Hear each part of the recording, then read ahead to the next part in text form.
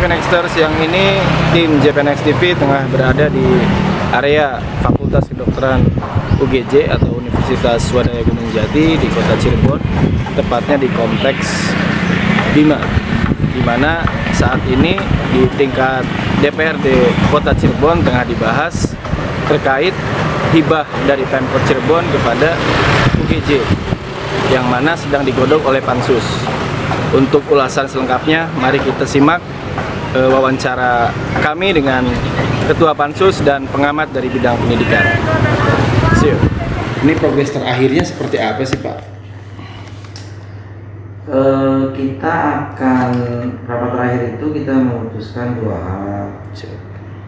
Selain kita pernah juga koordinasi dengan pemerintah Kabupaten Sumedang dan pemerintah Kabupaten Indramayu yang pernah melakukan hibah ke perguruan tinggi, eh, kita juga memutuskan untuk konsultasi ke Kementerian Keuangan, Sektor Dirjen Kekayaan Negara, kemudian Kemendagri dan juga BPK. Selanjutnya kita juga apabila sudah hal-hal tadi dilakukan, kita akan konsentrasi pembahasan finalisasi sebelum masuk kepada laporan kepada pimpinan dan ketua fraksi tentang hasil kerja kita untuk selanjutnya diagendakan dalam paripurna. Ya. Nah, sekarang kita dalam tahapan sudah dua kali dan tiga kali sekarang bersurat kepada Kemenku dan Kemendagri belum terjawab karena memang situasi masih buka tutup dan di dua kementerian itu apalagi sekarang ada positif corona sehingga belum bisa menerima surat kami yang ketiga untuk konsultasi ke sana beliau kemudian substansi kedua yang akan kita eh, konsultasikan yang pertama adalah perihal Kepmenku 247 2019 tentang eh, hibah barang milik negara ke barang milik daerah Kota Cirebon. Ya. eh, kompleks Bima. Eh, di dalamnya ada rencana pemerintah daerah memberikan hibah tanah seluas 10.000 meter persegi untuk UGJ CQ Fakultas Kedokteran. Karena memang di situ ada rambu-rambu di diktum keempat eh, Kemenku 247 2019 itu untuk tidak boleh dipindah tangankan. Dan peruntukannya pada dua hal, yaitu yang pertama adalah untuk sarana dan prasarana olahraga, yang kedua untuk ruang terbuka hijau. Oke. Perihal permohonan UGJ kepada Pemda untuk minta hibah ini, kita ingin menanyakan eh, Kemenku sebagai eh, perwakilan pemerintah yang memberikan ke kita dibolehkan atau tidak. Ya. Nah, Sementara dalam berita acara eh, penyerahan itu di poin keempat eh, dimungkinkan eh, dibolehkan pemerintah daerah untuk memindah tangankan sehingga eh, aturan antara Kepmenku dan eh, berita acara ini kita ingin klarifikasi dari sisi Hmm. peraturan perundangannya jangan sampai di satu sisi tidak dibolehkan di satu sisi dibolehkan Oke, ada informasi juga yang masuk Pak, katanya boleh dipindah tangankan terkait aset tersebut, baik itu berupa aset tetap maupun yang bergerak. Yang infonya, nah makanya ini saya sekalian klarifikasi ya, betul atau tidak. Dibolehkan dengan catatan dari government to government gitu. Dan Nah. dalam hal ini kan saudara bukan government. Ya, itu at- diatur dalam Permendagri nomor 19 tahun 2016 tentang tata cara hibah. Nah, hibah milik barang milik negara itu dibolehkan hibah itu un- hanya untuk pemerintah ke pemerintah. Jadi pemerintah pusat ke pemerintah daerah, pemerintah daerah provinsi ke pemerintah kabupaten kota, dan atau pemerintah daerah kota dengan kabupaten atau kabupaten dengan kota. Itu itu aturannya jelas di situ. Oke. Ada alternatif solusi yang disarankan hasil eh, Fikom konsultasi Fikom yang dilakukan oleh pimpinan dewan bersama wali kota itu bahwa alternatifnya adalah penggunaan atau pemanfaatan. Kalau penggunaan itu dikaitkan dengan tugas, tugas pokok dan fungsi Pemkot ada atau tidak. Oke.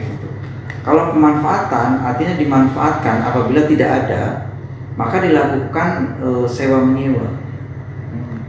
antara pemohon dan termohon antara UGJ dengan pemerintah daerah. Oke.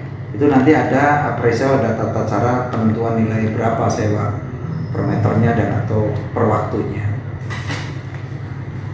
Itu eh, mengenai eh, alternatif eh, atau solusi mengenai, eh, mengenai UGJ. Tetapi DPRD tetap meskipun memang hasil pertama Vkom itu sudah nyata terjawab bahwa, tidak boleh dipindah tangankan sesuai dengan eh, Permenku 11 2016 dan Kemenku 247 2019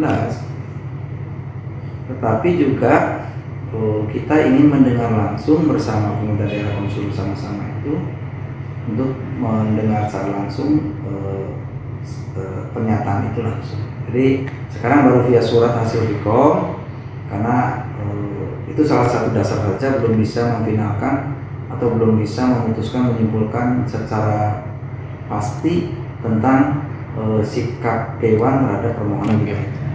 Ada juga yang berkembang Pak di apa yang informasi yang masuk ke kita katanya terkait hibah ini ada semacam eh, kubu-kubuan di dewan betul atau tidak sih Pak Ketua?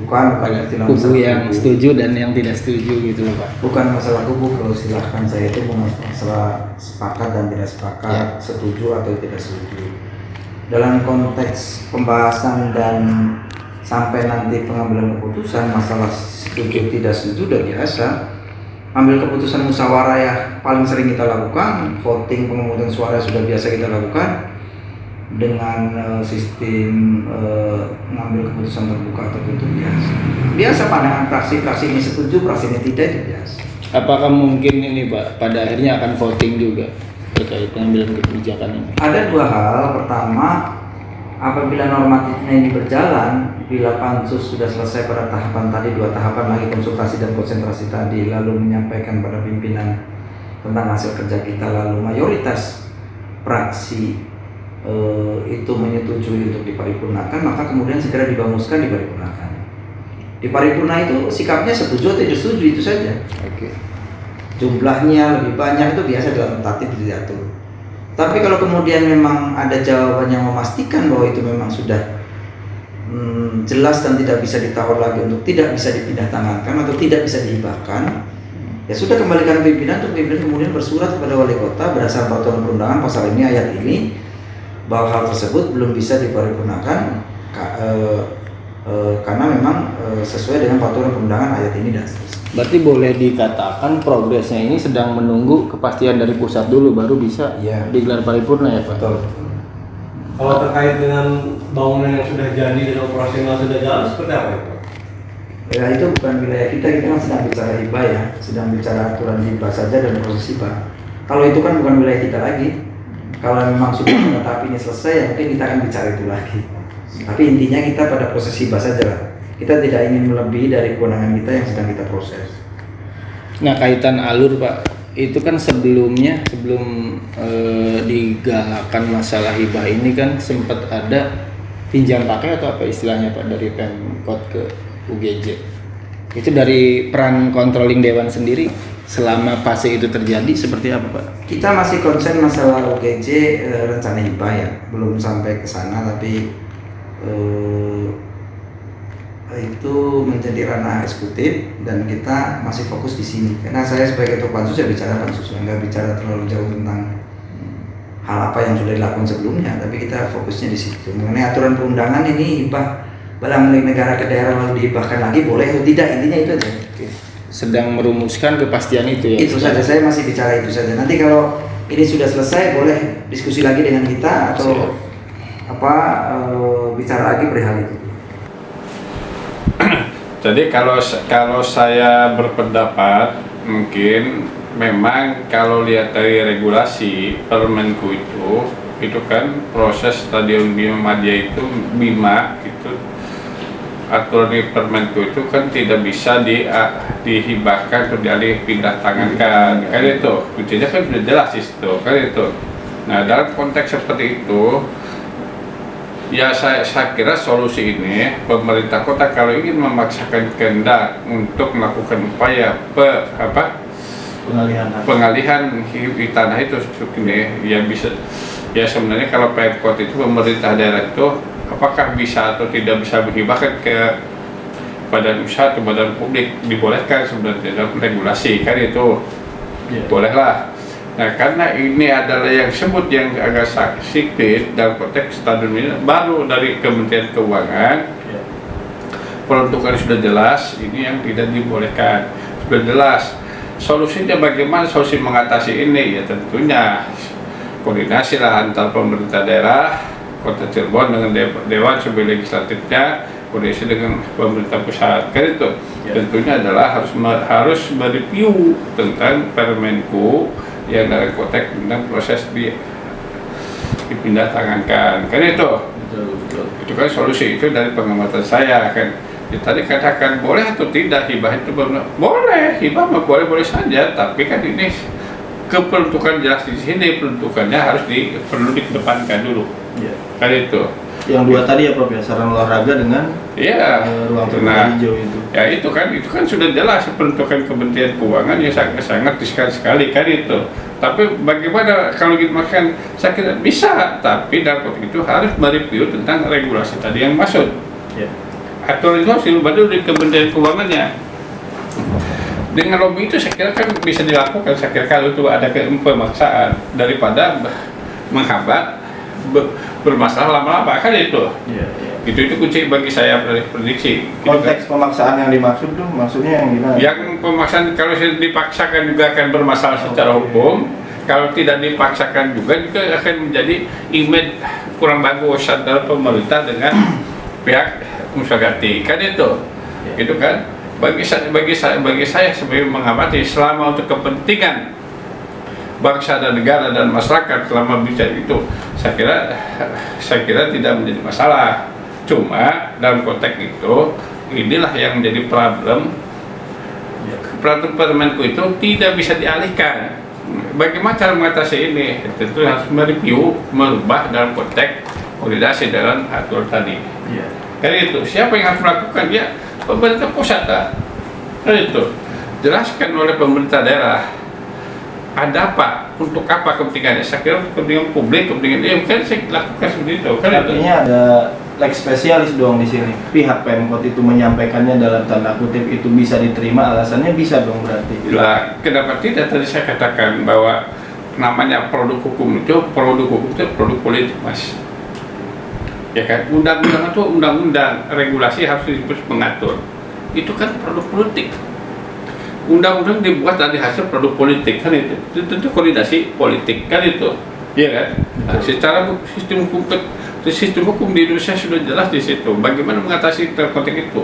Ini kan memang kalau dalam konteks aturan ini itu tidak bisa dilakukan hanya sebatas koordinasi. Tentu dari di judicial review. Ya, judicial review. ke Mahkamah Agung. Kan itu. Digugat judicial review ke Mahkamah Agung. Kan itu aturan undang-undang di bawah mak- di bawah undang-undang itu harus harus di judicial review ke Mahkamah Agung. Kan itu. Nah karena ini kepentingan pemerintah daerah sangat berpenting melakukan itu. Judicial review ada ke Mahkamah Agung kalau mau. Kan itu. Nah, Artinya setelah ada keputusan baru setelah ada keputusan baru dilakukan. Itu kunci itu. Setelah ada keputusan atau ini silahkan lakukan kepada pem- ke pihak ini. Kan gitu kan memohon lah. Nah ini Prof, yang ingin kami tanyakan juga terkait eh, kepastian. Ini kan posisi sekarang kan masih statusnya masih pinjam pakai ya, yeah. ganti ke Pemkot. Sedangkan dalam fakta yang terjadi adalah sudah berdirinya bangunan di tanah tersebut. saya sudah ngobrol sudah ketemu dengan Pak Rektor bahkan Pak Rektor pun memang dia lagi pusing juga ya kata saya Hmm. ya kata saya kalau saya ingin ingin dilakukan dengan sistem BOT kalau ingin memaksa- ingin tahu dulu kan itu Oke. BOT bus transfer itu artinya hak pinjam pakai tadi saya katakan tadi kan itu ya berapa tahun atau berapa tahun kan itu itu sambil proses dilakukan itu cuma tadi katakan apakah ini sudah dibangun sudah dibangun itu seolah-olah ada apa di balik itu kan itu Ya. tapi kan yang penting itu maslahat kemaslahatan untuk ke- kemanfaatan untuk kepentingan bangsa negara dan masyarakat. Apakah pendidikan usaha ini kepentingan siapa? Bisnis atau kepentingan apa? Kan itu mas. Kan itu kuncinya. Saya kira dalam konteks ini memang kalau ingin pansus dalam ini titik terang regulasi pemahaman itu ya ajukan dulu gugatan judicial review ke Mahkamah Agung. Selesai kan itu. Bahkan mungkin bisa dibilang akan mempercepat alur pengurusan ini juga ya, dia memang harus akan mempercepat proses itu. Dan tidak bisa mas kalau dalam bentuk bersifat per- peraturan itu tidak bisa dengan laku lobby begitu. Ada kalau undang-undang bisa ke Pak undang-undang kalau udah diundangkan Mas Nana tolonglah kita lakukan ini undang-undang ini dirubah pasalnya. Ya nggak bisa harus ke Mahkamah Konstitusi kan itu mas betul, betul. nah, kalau ini undang-undang harus ke Mahkamah Agung itulah bukti ini saya Betul. Oke Dexter, ini salah satu fakta atau tabir yang eh, baru saja kami dapatkan dalam artian eh, penegasan terkait judi judicial review itu baru kita temukan di pengamat eh, sektor pendidikan hari ini. Yang sebelumnya sama sekali belum kita apa? Yang sebelumnya sama sekali belum ada yang mencuat gitu. Item yang sebegitu penting yang dalam tanda kutip bisa mempercepat proses pengurusan hibah ini. Bahkan ketua pansus pun menyampaikan ke kami kemarin sifatnya pasif, artinya hanya menunggu keputusan dari pemerintah pusat melalui dua kementerian itu, Prof. Iya. saya minta kepada pansus tidak harus berlarut-larut lakukan secara proaktif dengan pemerintah pusat jangan sifat menunggu lakukan. Apa yang harus dilakukan? Saya kira memang solusi yang tadi saya katakan. Ya. ya silahkan secepatnya. Kan itu. Kenapa tidak kan itu. Apa sih yang menjadi masalah? Kan itu. Jelaskan kemanfaatannya. Untuk apa? Kan itu. Artinya boleh dikatakan pansus itu bisa bertindak secara paralel ya. ya bisa aja. Kenapa tidak? Kan itu mengerjakan tugas pokok fungsinya sebagai pansus juga mengurus masalah. Lah kenapa Bisa. tidak kan gitu. Ini daripada masyarakat targetannya daripada ya. masyarakat yang menggugat ya lebih baik langsung ini kan itu. Gitu. dan sampai masyarakat udah jadi bahkan menggugat kan itu. Menggugat. Tadi kan udah capek-capek batal lagi. Lebih baik silakan selama untuk kepentingan ini lakukan kan itu. Jangan sempat menunggu lah lakukan ino- inovasi terobosan lakukan terobosan yang lebih progres lebih cepat kira-kira gitu mas. Siap. Sudah sangat jelas Prof. Terima Oke, kasih ya. banyak. Ini sangat mencerahkan opini dari pengamat di bidang pendidikan siang ini. Terima kasih banyak Prof